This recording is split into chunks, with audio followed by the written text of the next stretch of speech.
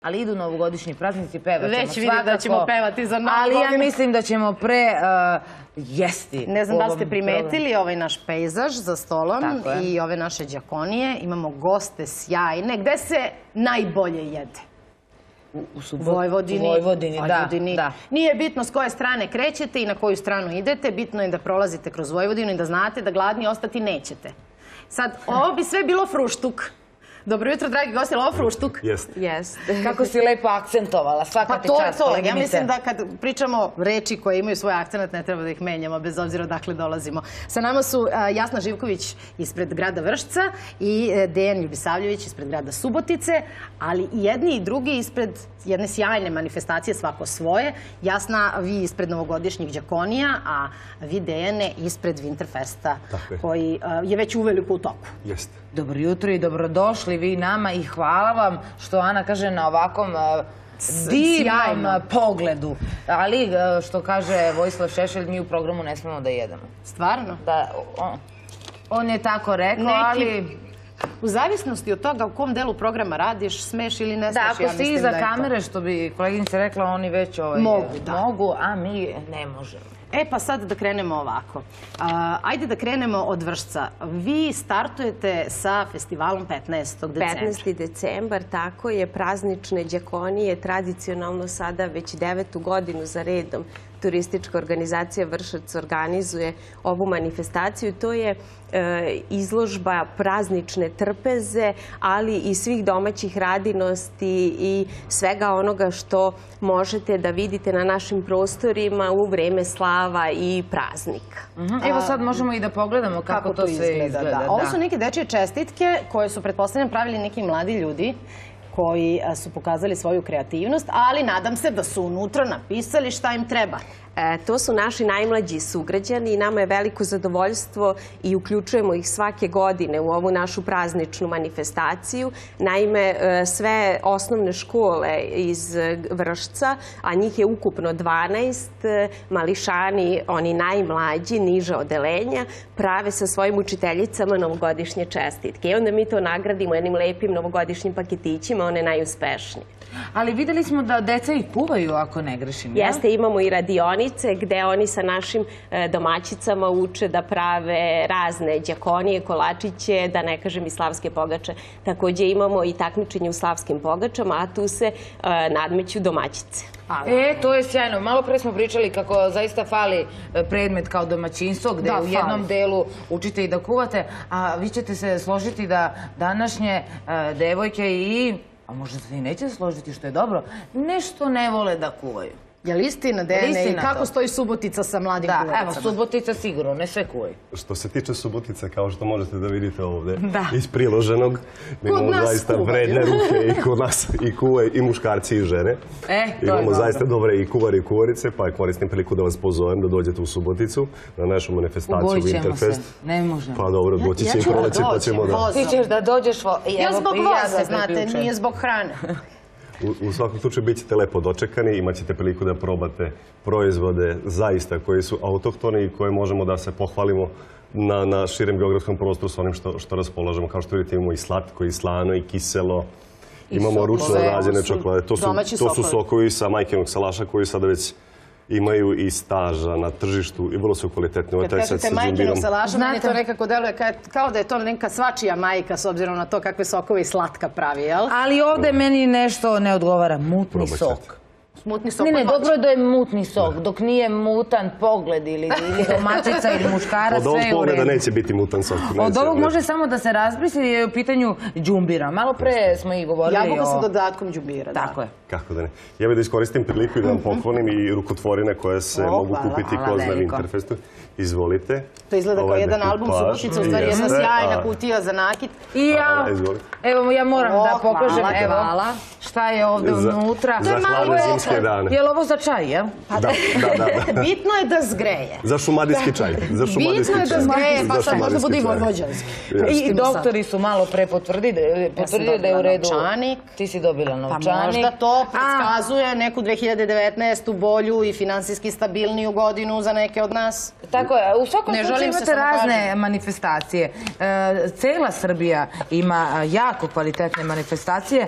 E sad vi nama a, kažite, ko sve ovo radi? Vaši građani isključivo ili... Znači, Nisu samo naši građani isključivo, vi imate, ovo, ovo su proizvodi čoveka iz Beograda, Grnčarija, ova bakarna, znači imamo ljude. Ali koji su nosili čačka. I jeste u okviru. Winterfesta. Znači Winterfest je manifestacija koja raste. Trenutno imamo 90 izlagača koji su mahom sa naših pijaca i uglavnom ljudi koji gravitiraju tu. Međutim, manifestacija je sad počela da se širi. Dobili smo ljude iz Pirota, dobili, dobili smo izlagače Čačka, Beograđani. Pa znate šta, zaista je jedna lepa priča i evo pozvani ste da dođete kod nas. Do kad da se uverite. Mi trajamo do 13. januara, počeli smo 5. decembra, znači potrudili smo se da obuhvatimo sve praznike, zato što je Subotica jedna multietnička sredina. Imamo ljude koje slave i katolički i pravoslavni Božić, pa smo se potrudili da se sve tu uklopi obe, obe, obe, obe nove godine, i Srpska nova godina i standardna nova godina, slave su tu. Božić. Tako da je sve, trudili smo se da manifestacija pokrije ovaj naj, najfrekventniji deo godine što se tiče praznika. Grad nam je pomogao tako što nam je omogućio uže uži centar grada, uže jezgro, ispred gradske kuće, tako da svako ko dođe u Suboticu ne može da promaši male kućice i Deda Mraza. Ne može Deda Mraza nikako, a i Boga mi verujem da se tokom dana a, ljudi skupe, pa tu rade nešto, pa se nešto dešava, ima sadržaj i za male i za velike, tako da je sigurno bez promašaja, to je sigurno. Ne može se promašiti. Ako ne, može se namirisati. Mo- To sigurno, da. Oprostite, ja sam mislila, ovo je tako lepo urađeno, da sam mislila da je je ukras i da je sveća. Ja sam mislila da je kolač. Pa kolač jeste. Dobro je, To dobro je se tradicionalni kolač, iz Transilvanije, koji se odomaća na našim prostorima. Znači, to se zove kolač na žaru ili kürteš kolač na mađarskom jeziku. U principu jede se vruć. Ja sam tomu donao da, da probate i ovako se može pojesti ukusanje, ali vruća rakija, kuvano vino i vruć kolač na žaru, to je nešto što, što vas čeka u Subotici. Jasna, verujem da postoje autohtone džakonije i u Vršcu i u okolini, odnosno u prostoru opštine Vršac, koje zaista krase vaš festival koji startuje 13. i za, pardon, 15. 15. selimo se, decembra. 13. se završava u Subotici i onda se selimo u Vršac. Ja verujem da izlagači koji sada izlažu u Subotici, da, i, da se poklap, poklapamo i da će doći sigurno. Neki od njih da i kod nas. Kod nas je u hotelu Srbija, takođe u centru grada. Velika sala e, bude veoma posećena. Preko 60 izlagača nam se prijavilo, tako da biće, biće veoma interesantnih stvari i da se kupi i da se dobiju neke ideje za praznike, za domaćice. Vršac je također poznat po akademiji, po e, piloti e, pohađaju. Pilotska Zapravo, akademija, akademija da. bude- I sve žene mahom idu tamo. I zbog vašeg e, festivala za manifestacije, a i zbog pilota. Dolaze li piloti, budući piloti? I oni su nam dobri promoteri i onda... Promoteri grada, naravno. Promoteri grada, Ali ima dosta, dosta i stranaca na toj akademiji, složit ćete Tako se. je, dosta inostranih uče. Znači, dame su po- u pojačanoj poseti Vršcu. Da, Mislim, zbog džakonija. ovako. Pozivamo ih ovom prilikom, Beograd je blizu, da posete Vršac 15. decembra. Ja sam sigurna da će se lepo provesti. Moram da vas pitam, uh, i vas, Jasna i vas, Dene, uh, koliko ovakve manifestacije i ovakve vrste festivala, ovo je sada zimski, pretpostavljam da u toku godine ima i nekih drugih koji uh, privlače pažnju različitih, da kažem, nivoa populacije, i strance, i domaće, izlagače, i turiste, domaće koji šetaju tako po Srbiji i vole što šta da vide. Koliko to u stvari pomaže promociji same opštine i koliko nas na neki način približava da kažem, nekom e, nivou funkcionisanja i ekonomski, i kulturološki, i obrazovno, naravno, svim malo većim gradovima, da kažem. Ja moram da vam napomenem jednu stvar, da je Subotica trenutno grad koji beleži porast turista. Um, Samim tim i ova manifestacija je očigledan pokazatelj šta se dešava kod nas. Ja ću iskoristiti priliku da vas pozovem sada na Winterfest u toku zime.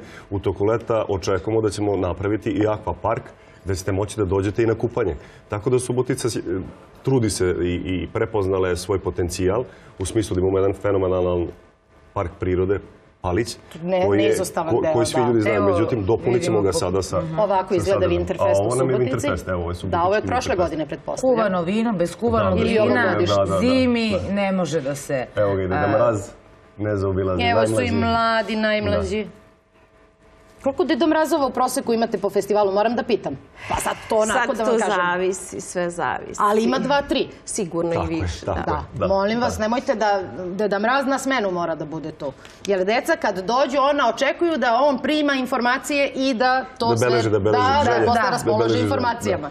I što kažu, juče sam ovaj, e, ponovo imala Je li priliku da se pisalo tvoje dete e, pismo Deda Mrazu? Pa jeste da vam kažem zahtevno je. Sad ne znam da li će to stići kod vašeg Deda Mraza ili nekog drugog, ali ga ja molim da eto bude blagonaklon prema je, našoj porodici. šta je to što deca danas e, najviše nekako žele? Malo pre smo i pričali o tome. Su to neke tehničke stvari ili ipak teže prema nečemu drugom? Neke igračke koje su trenutno aktuelne. Koliko se ja mogu da prepoznam i koliko su sti- stizala pisma oko našeg Deda Mraza, još uvijek je kod male, male dece, slatkiši su još uvijek prioritet. A zaista? Zaista kod male dece. Dobro, lepo, pustnik Tako, se dobro, raduju. pa tačno, neka se Jelena će da im da u januaru da jedu slatkiše od januara, kupus, kelj, prokelj, karfiol i sve Ma može crna čokolada.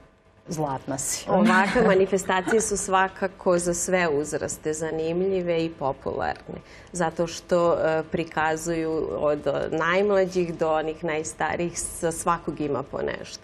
Tako da je poseta zabeležena, uvek je porast na manifestacijama ovakvog tipa, porast turista. Sjajno, meni je e, zaista bilo drago što ste bili naši gosti, ali moram da priznam da mi nije tako drago što nismo mogle sve ovo da probam.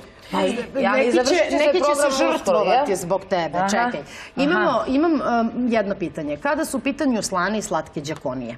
Uh, pretpostavljam da su to proizvođači koji su već odavno provereni i koji imaju svoje sertifikate. Ne treba uopšte ulaziti u te detalje, ozbiljni ste u tom poslu već dugi niz godina. Ono što me interesuje jeste, da li znate kakve su razlike po Vojvodini u receptima i pravljenju različitih, da kažem, zimnica?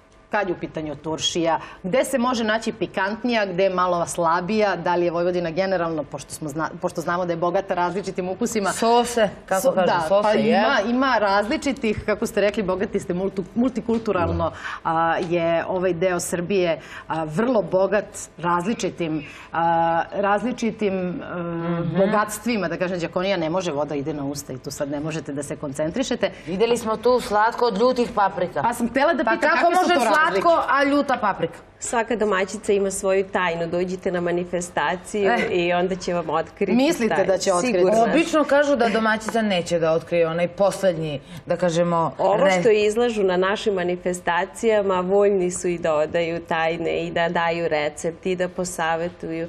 Zaista su ovako vrlo raspoloženi.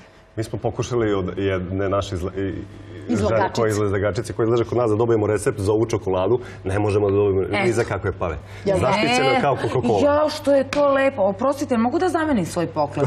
Ovo Može za ovu ovaj, čokoladu. ovaj. Evo, pogledajte kako je ovo zaista urađeno kao neka slika. Evo sada Ja ćemo sam mislila da je to zaista vidimo. ukras za zid. Ovo su prave jagode, jel? Yes. Da, ušećerene, ja bih rekla. I Može ukras za zid dok se ne pojede. Pa mislim da neće dugo stajati na zidu. Evo. Ono što uh, moramo da kažemo jeste da uh, zimski festivali nose uh, jednu radost, les- letnji festivali drugu. Palić ima svoje bogatstvo prirodno, pa tu može i kao kupalište da ima svoju prednost u odnosu na neke druge del- delove Srbije koji možda nemaju veliku reku ili jezero, kao Subotica. Šta je ono što Vršac izdvaja tokom leta? Vršac, e, pre svega gradsko jezgro i sve znamenitosti u njemu e, veoma su popularne. E, Blizina granice sa Rumunijom dovodi njihove žitelje i rumunske turiste, a takođe i prednost Beograd nam je jako blizu.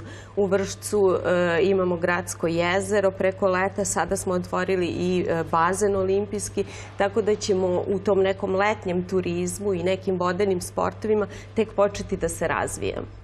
Dobro, evo to smo čuli da uskoro očekujemo i u Subotici Paliću. tako da će biti, boga mi, jako lepo dočekati 2019. proleće, leto, pa da kako kažem, kupujmo da. domaće i posećujemo domaće. Kod nas je vrlo popularno tokom leta, turisti dolaze na Vršački breg i Vršačke planine i tamo nalaze neko utočište od toplih, vrelih letnjih dana. Jeste, temperatura zna tu vrlo prijatno da iznenadi, pa to nekako dođe na svoje. A vinski turizam je vrlo razvijen u, na, naš, u našem gradu, tako da u martu mesecu pravimo i festival vina, Vino Fest čuveni i e, vole da dođu i da obiđu taj put vina sa svim e, vinarijama i svim onim što to ubraja. Mi tokom e, našeg programa vikendom od podneva pa sve do dva sata imamo emisiju koja se zove Prelo u našem sokaku. Bavi se običajima i e, narodnim radinostima, svim lepotama naše zemlje i na najlepši mogući način prikazuje pojedinačno gradove naše lepe zemlje Srbije i trude se da prikažu znamenitosti različitih naših gradova na najlepši mogući način. Bili su i Subotica, ja se nadam i Vršac će biti uskoro i ono što je sjajan šlagvort za ovu današnju našu emisiju jeste šta sve Srbija nudi i šta su sve lepe ponude ovoga puta Subotice i Vršca. Eto, u to ime mi vam se zahvaljujemo na današnjem gostovanju, na ovim I na darovima, divnim tako je. džakonijama. Hvala i vama i dobrodošli u Vršac 15. decembra. Hvala. Mi vas fečno očekujemo. Do 13. januara, je li tako? Tako je. Mi smo već krenule, moram vam e, priznati, ne znam na koju ćemo tačno stranu, ali negde ćemo stići, možda i vozom Vozom. ili kolima, nije ni važno. Vozom. Bitno je da imamo gde da odemo i da se zadržimo nekako u našoj e, lepoj Srbiji. Hvala vam još jednom na gostovanju i na ovim zimskim i prazničnim darovima. Nego, koleginice draga, a ja tebe moram da, da pitam evo ovako javno, šta si ti meni pripremila kao dar za ovu novu godinu? Sem što nas očekuje e, izuzetan program e, novogodišnji. E, Pa pripremila sam dosta lepog sadržaja, Aha, sadržaj, edukativnog materijala, pregled 2018. godine, najdraže li- goste Dobro, i da. ovaj pokloni će ostati tajna iz razloga što Deda Mraz smatra da svako dete i svaki čovjek u sebi ima dete, pa svako dete mora da se da ima obraduje. tajnu. Da li svaka žena treba u sebi da ima tajnu? Kažu, e, žena treba da bude jedna za tajnu, zatvorena ali- knjiga, pa da onako se okreću Ne znam za tajnu, ali mislim da ću izbeći stručno ovaj odgovor, jer znaš šta, vreme je za vesti, vrlo dobro. hitno i na redu je naša draga Slađa koja će nas ovoga puta izvući iz situacije, da joj kažemo koji je njen poklon za novu godinu. Slađo, hvala i izvoli.